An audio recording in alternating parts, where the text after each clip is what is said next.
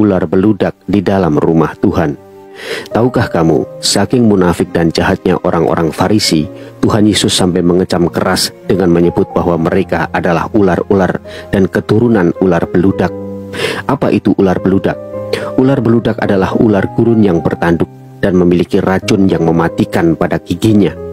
Biasanya, ular beludak mencari mangsa pada malam hari, bergelung dan menunggu di pasir jika mangsanya lewat, maka ia menyerang dengan pakutan yang amat beracun dan mematikan.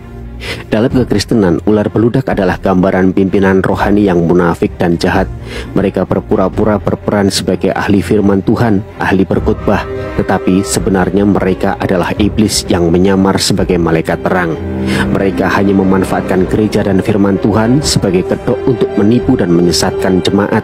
Mulutnya penuh dengan tipuan, bermuka dua, hatinya tidak punya kasih, suka menebar fitnah di dalam gereja, senang dan puas jika melihat orang lain menderita. Dua jam di dalam gereja seperti malaikat, tetapi setelah keluar gereja kembali menjadi iblis.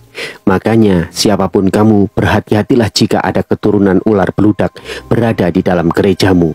Matius 23 ayat 33 Hai kamu ular-ular, hai kamu keturunan ular beludak, bagaimanakah mungkin kamu dapat meluputkan diri dari hukuman neraka?